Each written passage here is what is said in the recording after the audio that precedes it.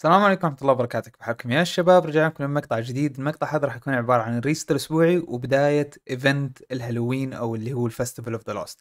طيب شباب من غير ما نطول في المقطع لا تنسون إنكم تشتركون في القناة إذا ما أنتم مشتركين وزر ال like يا حلوين وخلونا نبدأ.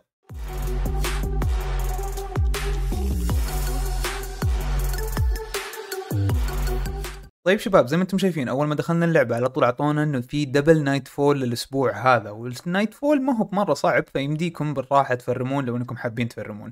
وبرضو في نفس الوقت في ال Vanguard booster معناها اللي بيرنك لل Vanguard أو Zavala يمديكم ترنكون ال double اللي كنتم راح ترنكونه لو إنكم قاعدين تلعبون في الأيام العادية. بالإضافة زي ما قلت لكم Festival of the Lost بدأ اليوم وراح ينتهي في تقريبا 7 11 يعني تقريبا أسبوعين أو ثلاثة بالكثير.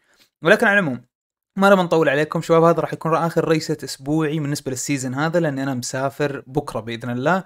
آه دعواتكم فقط هذا كل اللي أطلبه منكم لا أكثر. آه طيب شباب خلونا نبدأ على السريع. بالنسبة ل raid Crota أول شيء شباب راح يكون ال challenge في ال encounter الأول. بالإضافة شباب إنه ال mission تغير صار mission Operation Seraph Shield يعني يمديكم تفرمون على سلاح ال IKELOS للناس اللي تبغى تفرم على أسلحة ال IKELOS عامة لأنه واحد من أفضل الأسلحة اللي SMGs ال Arc اللي ممكن تلعبونها في اللعبة. طيب شباب بالنسبة لل Crucible حلوين عندنا Rift وعندنا Momentum Control لأنه راح نلعب شويتين Momentum Control في أشياء راح تتطلب مننا نلعب momentum control أو crucible عامة. فحطوا في بالكم الشيء هذا و trials راح يرجع أكيد في ال weekend بإذن الله يا حلوين يوم الجمعة. بالنسبة لثاني شيء حاب نتكلم عنه اللي هو ال raid وال dungeon. بالنسبة لل raid عندنا Garden of Salvation رغم إنه ما حد صار يلعب ولكن Garden of Salvation وعندنا ال dungeon اللي هو Pit of Heresy أفضل dungeon ممكن ت farm ون فيه على armor ات يا حلوين. طيب بالنسبة لل grandmaster يا حلوين زي ما قلت لكم قبل شوي nightfall راح يكون عبارة عن Scarlet Keep واحد من ما حقول أسهل ولا أقول صعب يعني عادي متوسط.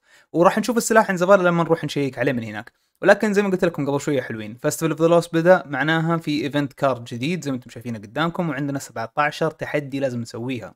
ولكن من غير ما نطول عليكم المقطع خلونا نشوف ال challenge ات الأسبوعية وعندنا سبعة challenge ات في الأسبوع التاسع. خلونا نشوفها كلها ونشوف إيش عندنا الأسبوع هذا. طيب شباب بالنسبة لأول challenge يقول لكم اذبحوا أعداء في أي مكان في العالم ولكن لازم سلاحكم يكون نفس سوبركم. يعني super solar لازم يكون سلاحكم سلاح سولر لو super void معناها سلاح void لو super arc معناها arc فبس باختصار حطوا سلاحكم نفس السوبر اللي أنتم قاعدين تستخدمونه وقتلوا adds في أي مكان وإذا قتلتوا الأعداء في جوا ال lost sectors حقت الهالوين راح يعطيكم نسب أكثر. بالنسبة لل challenge الثاني يا حلوين يبغانا نذبح أعداء ب void أو سولر في ال Altars of Summoning اللي هو ال mission اللي موجود على اليمين في ال helm. بالنسبة لل challenge اللي بعده يا حلوين يبغانا نخلص lost sectors في Neptune أو Savathun throne world أو Europa طبعا اللي هي ال haunted lost sectors اللي هي حقت ال event هذا راح تعطيكم نسب أعلى فحطوا المعلومات ببالكم يا تروحون تسوون lost sector ات في Neptune اللي هو Neomuna أو Savathun عالم Savathun أو Europa أو يمديكم تدخلون على ال haunted lost sectors اللي هي حقت ال event وراح تنحسب لكم برضو وال haunted lost sectors راح تعطيكم نقاط أكثر. بالنسبة لل challenge اللي بعده يبغانا نجيب ال ornament حق سلاح ال season يا من عند Zavala يا من عند ال Drifter يا من عند شاكس وراح تخلصون ال challenge هذا زي ما أنتم شايفين قدامكم أنا كنت مخلصه على طول.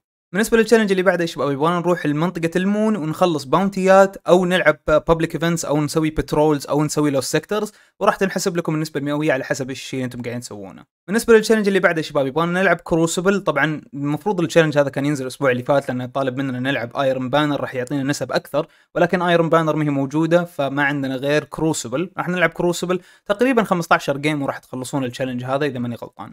بالنسبة لآخر challenge شباب معانا راح يقول لكم العبوا ال nightfall على صعوبة ال hero أو أعلى أربع مرات. فباختصار أنا لو مكانكم راح ألعب على صعوبة ال hero أربع مرات وراح أخلص ال challenge الأخير. طيب هذه بالنسبة لل challenge ات الأسبوعية كاملة. خلونا ناخذ تفرع السريع بالنسبة لل store طبعا زي ما أنتم عارفين في أشياء كثيرة نزلت جديدة مع الهالوين. راح نشيك عليها ولكن طبعا أكيد مو في الفيديو ولكن بالنسبة لأشياء ال bright dust يا حلوين. أول شيء عندنا shader ين واثنين كلهم حقون ال Festival of the Lost شباب لا تنسون إنكم تأخذونها إذا لأنها ما حترجع إلا بعد سنة فعطوا المعلومة هذه ببالكم بعدها شباب عندنا transmat effect وأنتم منزلين الطياره ب 450 عندنا ghost حق الساحرة ب 2850 عندنا emote حق القبر ب 3250 هذا بالنسبة لصفحة ال bright dust في الصفحة الرئيسية. بالنسبة لل bright dust حلوين أو صفحة ال bright dust كاملة عندنا emote 3250 عندنا emote أزرق ب 400 عندنا ghost اللي يقطينا ب 2850 عندنا طيارة ب 2000 عندنا sparrow ب 2500 وعندنا ال ornament حق ال Parasite ب 1250 وصراحة شكله رهيب مرة مرة شكله رهيب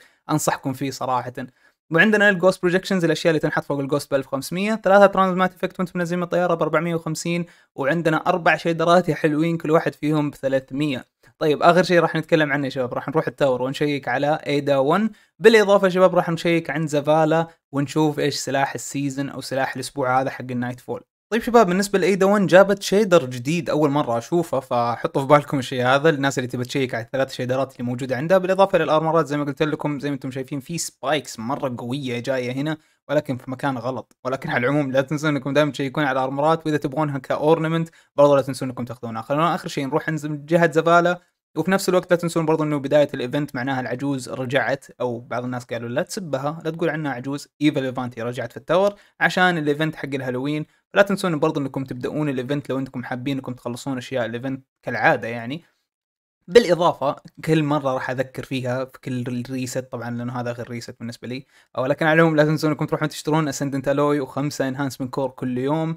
ال enhancement core ولكن ال alloy مرة واحدة فقط لا تنسون الشيء هذا. طيب باختصار ما بطول عليكم. ال event راح أبدأ لحالي ما حبدأ في التصوير ولكن على العموم لا تنسون إنكم تروحون تشيكون عند Zavala للناس اللي تبى تشيك. لو يمديها تشتري أي سلاح من الأسلحة اللي عندهم.